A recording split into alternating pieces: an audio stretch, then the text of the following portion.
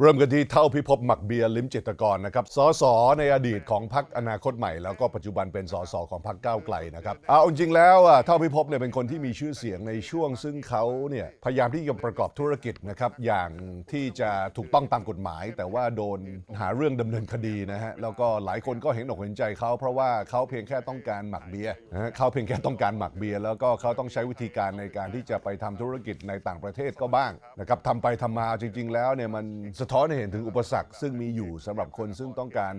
หมักเบียร์แล้วก็เบียร์มาขายนะฮะ ว่ามันจะต้องทำในสเกลที่ใหญ่แล้วก็จะต้องมีการตรวจสอบ ผ่านขั้นตอนเยอะแยะมากมาย เพราะฉะนั้นเท่าพิภพเนี่ยกลายมาเป็นสัญลักษณ์ในการต่อสู้เพื่อสิทธิ์ของผู้ซึ่งจะทำสุราพื้นบ้าน หรือผู้ซึ่งจะทำ craft เบียร์ไปเลยนะฮะเท่าพิภพเนี่ยนะฮะถูกโปรไฟล์ล่าสุดเนี่ยครับในบทบาทของการเป็นสสปัจจุบันนะครับกับพรรคก้าวไกลนะครับเป็นสสมาสองสมัยแล้วนะฮะไม่น่าเชื่อนะครับเท่าพิภพลิมจิตกรนะครับบทความและก็บทสัมภาษณ์นี้นะครับดึงมาจากทีมงานของ Voice Politics นะครับซึ่งในรอบนี้นะครับเรื่องนั้นได้รับการเรียบเรียง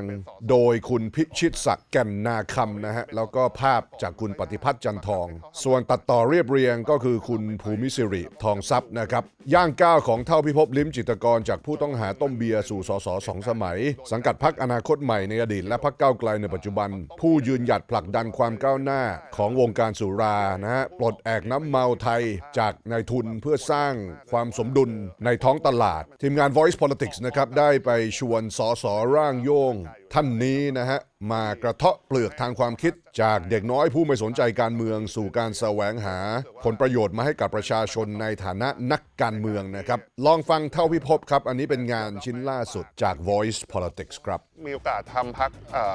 อนาคตใหม่ เป็นผู้จุดจัดตั้งโดนชวนไปเนี่ยเออเราคิดแล้วเว้ยเฮ้ยถ้าเราเป็นนักการเมืองลองทำดูไหมลองเป็นนักการเมืองลองดูซิถ้าวันหนึ่งเราเป็นอะเราจะคือมันมันต้องมันต้องเฮี้ยทุกคนจริงๆเหรอวะคือเข้าใจว่าคือแบบ คือทำไมอะนักการเมืองมันเฮี้ยทุกคนจริงเหรอวะคือถ้าเราไปแล้วเราพยายามไม่เฮี้ยเนี่ยได้ปะเออคือนี่ก็คือคำถามเลยว่ามัน system หรือว่าเป็นเพราะอินดิวิ u a l ใช่ไหมซึ่งผมว่าบางคนก็ค้นพบแล้วชัดเจนว่าจริงๆมันเป็นเรื่องของอินดิวิ u a l เว้ยคือมันไม่ให้แบบทุกคนเป็นอาชีพนี้เราต้องเหี้ยหมดใช่ไหมคือสุดท้ายคุณเลือกเองได้ แต่ผมต้องบอกตรงนี้เลยว่าเห็นใจเพื่อนนักการเมืองหลายคนที่แบบ ผิดรูปผิดทาง มันเป็นอาชีพที่มันง่ายมาก ต่อการ corrupt ต่อการที่คุณจะออกนอกลู่นอกทางอะนักการเมืองเนี่ยไม่จำเป็นต้องมีจุดยืนเลยก็ได้ ผมว่า แต่ทุกคนน่ะต้องมีเส้นนะครับ คือจุดยืนในเรื่องเนี่ยคุณมีความเห็นได้ แต่จุดยืนเนี่ยบางทีผมว่าเฮ้ย realistic นะคุณเป็นนักการเมืองอะคุณไม่ต้องมีจุดยืนที่มันเข้มแข็งยืนตรงอยู่ตรงเนี้ยตลอดเวลาไม่ขยับเลยอะ อันนี้ก็ตึงไป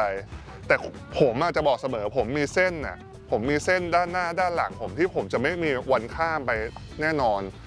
แล้วแต่สถานการณ์ผมก็จะเต้นอยู่ในระหว่างเส้นในกรอบของผมอยู่ตรงนี้แหละเออผมไม่ตึงผมไม่หย่อนครับ แต่คือผมจะไม่ไปในที่ที่ผมไม่ควรไป จะไม่ทำในสิ่งที่ผมไม่ควรทำใช่ไหมคืออันนี้ผมว่าก็เป็นหลักการคือที่คุณจะอยู่ในฐานะนักการเมืองได้ แล้วก็ ผมว่ากรอบหรือเส้นนี้มันไม่ได้ขีดด้วยตัวเราอย่างเดียว มันขีดด้วยสังคมอะไรด้วยเนี่ย มันก็แน่นอนครับคุณแค่ follow this line ไม่ across ไม่ข้ามไปมันก็พอแล้วปะวันหนึ่งผมก็คงไป